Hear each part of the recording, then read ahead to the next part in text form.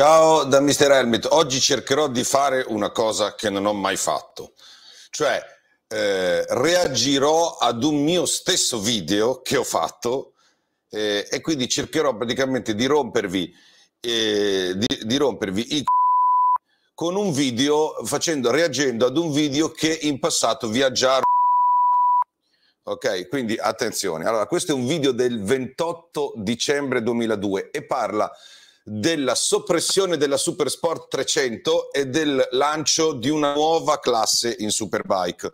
Ok, se vi piace tutto questo, iscrivetevi al canale, attivate le notifiche, supportate Mr. Helmet con le donazioni, lo shop, i super stickers, i super grazie e l'abbonamento ok? Abbonamento a partire da 3 centesimi al giorno. È così che eh, date una mano a chi fa contenuti, che poi alla fine io li metto gratis, va bene, però eh, è come scroccare il giornale, dai, qualcuno ci ha lavorato. E poi Super Supporter e Sugar Daddy hanno le notizie direttamente su WhatsApp. Ritiro fuori questa copertina. L'avete visto questo video? Forse no, perché eh, praticamente eh, fa schifo la copertina, quindi capisco che non ci sia stato un grandissimo appeal, però in realtà questo eh, parla eh, della nuova classe Super Sport, eh, che si potrà chiamare Super Twin, non lo so, che praticamente affiancherà la, la, la, la, Super Sport ci sarà ancora molto probabilmente, ma andrà al posto della 300. Um, è stato fatto un lavoro, uno studio di analisi con dei documenti, dei dati, eccetera, per cui vi prego di supportare Mr. Helmet. Ah, volevo dire, sono uscite anche le nuove t-shirt come questa in versione bianca e nera eh, ordine fino al 5 luglio, dopo eh, chiudiamo gli ordini e le produciamo e saranno limited edition. Faccio partire il video e parlo di questa nuova classe e delle motivazioni che quest'ultima dovrebbe avere. Ok? Quindi è importante, vado avanti. E inoltre non sono nemmeno lontane parenti da quelle a cui dovrebbero preparare chi, chi, chi le guida. Ultima Parlo delle 300 e dico che il campionato è divertente, le moto si vendono, però non preparano i piloti, uh, ok? Uh, non attirano gli sponsor, non attirano i media, non rendono i piloti pronti al passaggio poi, successivo. Eh, ci sono altre moto che si vendono. Eh, per andare su strada, non solo nei paesi emergenti, ma anche in Europa. E di certo non parliamo delle superbike e nemmeno delle super sport 600, che eh, nella variante poi meno frazionata arrivano a essere 1000. Sono troppo potenti anche quelle e troppo sovradimensionate per l'uso di tutti i giorni, troppo estreme e scomode per poter essere godute fuori dalla pista. Eh, quelle che si usano quindi, si vendono quindi, sono moto dalla parvenza sportiva, ma comunque accessibili. Ok, non la Panigale V2, non le R6 che non sono più neanche in fish, non quelle sub, le 600 da 170, cioè delle bestie, ok, ma delle moto sportiveggianti, più o meno della stessa cilindrata, ma magari eh, con bicilindriche o tricilindriche più tranquille, più moderate, più alla portata. Ok, parlavo di questo. E guidabili, sono sportiveggianti, già di serie, e o vanno forte o possono essere pepate ex post. Volete sapere quali sono le moto eh, del futuro delle derivate di serie? Sono quelle gareggiabili, ma anche vendibili, in quanto circolabili e acquistabili. Eh, da questo poi capiremo che nuova categoria nascerà e intanto ve le faccio vedere. Vai, iniziamo con l'Aprilia RS660, che è un bicilindrico fronte marcia 660 una fetta di RSV4 poi ci sono le CF Moto 650 poca potenza. Non è naturalmente usabile per le competizioni così com'è questa moto ma c'è qualcosa e si può fare. Ehm, e lo stesso motore delle Kawasaki praticamente R650 la, la famosa Kawasaki Ninja 650 che ha circa 70 cavalli. Poi ci sono le Suzuki SV con il bicilindrico AL650. Allora, oltre a queste, io ve ne aggiungerò altre di moto. Una fesseria l'ho detta sulla Ducati, eh, vi parlerò anche di quella, un, qualcos'altro da correggere su KTM e vi aggiungerò una moto nuova molto importante. Ma attenzione che le moto sono queste, ok? State bene attenti perché queste le vedremo correre, in realtà le vediamo correre già molto vendute negli USA e di prossima sostituzione. Occhio a questa moto. Poi c'è la Yamaha R7 con motore 650 eh, più o meno sì, CP2 bicilindrico fronte marcia che ha circa 75 cavalli, ma vedremo che le cose stanno diversamente da così.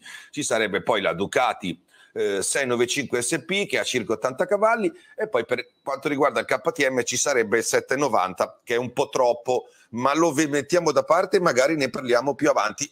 Allora, Ducati, vi dico, vi anticipo, sta facendo un 690, un 690 eh, e eh, KTM anche ce l'ha il 690, quindi questo lasciate perdere. Era un video di dicembre, attenzione, ok? Quindi eh, un video di dicembre. E anche di Honda parliamo un'altra volta. Attenzione che ci sono fino adesso, così come ve li ho fatte vedere, grosse differenze fra queste moto dal punto di vista dei motori, perché il motore Aprilia è potentissimo con oltre 600 cavalli, mentre il motore Yamaha CP2 ne ha circa 75, ma poi vedremo che possono essere molti di più. Si tratta, il CP2, di un, diciamo così, di un motore multiruolo che viene utilizzato così com'è ovunque, mentre il motore Aprilia è un motore da corsa eh, diciamo così multiruolizzato. Allora il motore Aprilia verrà depotenziato per essere eh, in grado di competere ad armi pari con queste altre moto, qualche altra moto invece verrà chittata, ok? Però che quando viene usato ad esempio sul Tuareg viene mappato con 20 cavalli in meno e quindi depotenziato. Ricordiamocelo questo. Gli altri motori citati invece hanno da metà della potenza in su e quindi non vanno bene, ma abbiamo visto tutti che tipo di ridimensionamenti e configurazioni si possono fare dal punto di vista elettronico. Per capire meglio, la nuova categoria eh, dovrebbe essere quella dei bicilindrici fino a 7-800 con ridimensionamento della potenza delle Aprilia e un certo tipo di kit per gli altri in modo da pareggiare la faccenda. Ok, questo l'ho detto, ok? A questi bicilindrici eh, aggiungiamo un'altra moto, ok? Che è un tricilindrico ed è per esempio il eh, 660 Triumph, quello che è sul Trident. Ci sarà una Daytona, un Daytona 660 o una, come adesso accade, una 675 che è una Street Triple che, di, che viene Daytonizzata, ok? È importante essere onesti cioè, se, diciamo così, eh, se le cose rimanessero così, eh, per questo campionato ci dovrebbero essere più o meno solo due case, di cui solo una veramente competitiva, ma elettronicamente e dal punto di vista dei kit sono moltissime le cose che si possono fare. Del resto anche la Triumph Super Sport è una Street Triple carenata e quindi questo vuol dire che con i dovuti accorgimenti eh, tanti possono entrare in gioco, sia perché sono già pronti, sia perché possono esserlo con qualche kit e qualche modifica in modo da soddisfare i mercati giusti. Chi pensa che tutto questo sia una cazzata, a chi pensa questo e che dice che magari questa cosa non si possa veramente fare, vi dico che questa cosa la stanno già facendo negli Stati Uniti. Nel Moto America esiste una classe che si chiama Revit, sponsor, no? Twins Cup Race, fatta apposta per pas- facilitare il passaggio dalla STG Junior Cup, la loro 300 per intenderci, e la Super Sport e vede c'è anche oggi questa classe, eh? anche quest'anno. Nel 2022, fra regolari e wild card, ci sono stati 87 partecipanti su Aprilia, naturalmente, ma anche Yamaha e Suzuki, ovvero le moto che ho citato sopra. E sorpresa delle sorprese, quest'anno il titolo non l'ha vinto la moto naturalmente migliore dell'otto, bensì, cioè l'Aprilia, bensì una Yamaha. Blake Davis su Yamaha ha rifilato 20 punti a Jody Berry e Anthony Mazziotto su Aprilia, gli stessi punti che Gagne su Yamaha ha rifilato a Petrucci su Ducati, che pure all'uscita dalla fabbrica è una moto migliore. È il regolamento che fa tutto, ok? Quindi, o meglio, il pilota che ha battuto ben 3 Aprilia dimostrando che le Yamaha sono equivalenti, volendo, alle Aprilia, se non migliori.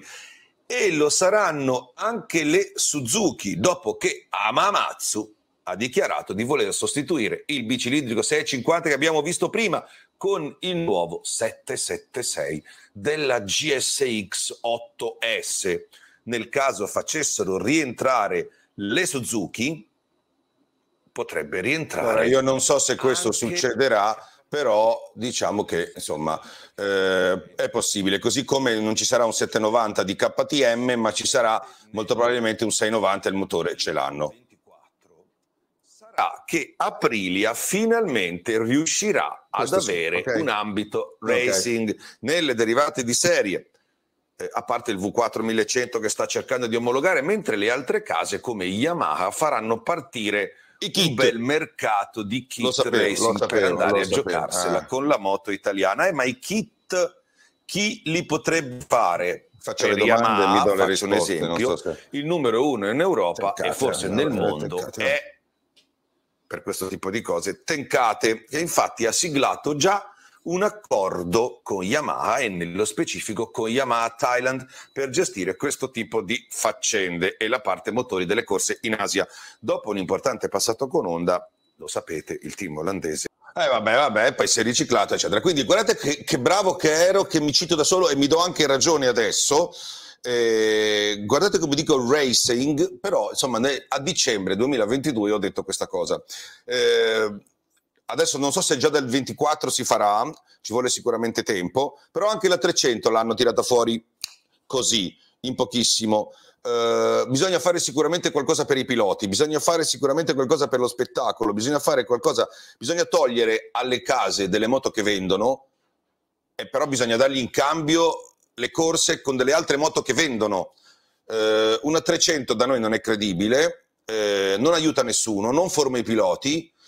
Eh, è divertente, però alla fine guarda, non, la guarda, non, la guardano neanche, neanche, i genitori le gare. E quindi invece con queste moto qui, che sono quelle che se tu vai sulla Flaminia trovi, ok ragazzi, poi ce ne saranno tante, ci potrà essere MV, ci potranno essere tante soluzioni, anche tante cinesi, ci sarà Cove J, ci saranno veramente tante altre che ho dimenticato, più le imprecisioni che ho fatto, eh, mi perdonerete, su dei motori, su dei modelli piuttosto che in altri, perché sono passati dei mesi e magari nascono altre piattaforme, ma grosso modo questo è. Quindi eh, spero che eh, questa cosa abbia un senso, spero di aver ravvivato un video che come al solito eh, passa in cavalleria quando do le informazioni troppo presto e dopo arrivano e, io dico, eh l'avevo detto 12 mesi fa e voi, eh sì, 12 mesi fa, tu sempre per primo. Ok, ci tenevo a darvi questo nel weekend della Superbike, va bene? E spero, questa potrebbe essere veramente la classe che dà un senso a una Supersport e potrebbe un giorno anche sostituirla che dà una preparazione per la Supersport, che ormai sono quasi Superbike perché vanno fortissimo, che eh, toglie delle moto che sono anche quasi pericolose per l'eccesso di bagar che c'è e porta dei soldi, degli sponsor e quindi questa potrebbe essere veramente una, una bella mossa di Dorna. Io la critico sempre, ma questa volta potrebbe non essere male. Che ne pensate? Sono riuscito a ravvivare il video con la copertina più brutta della storia. Adesso mi tocca fare anche quella nuova, ok? Ciao da Mr. Helmet. You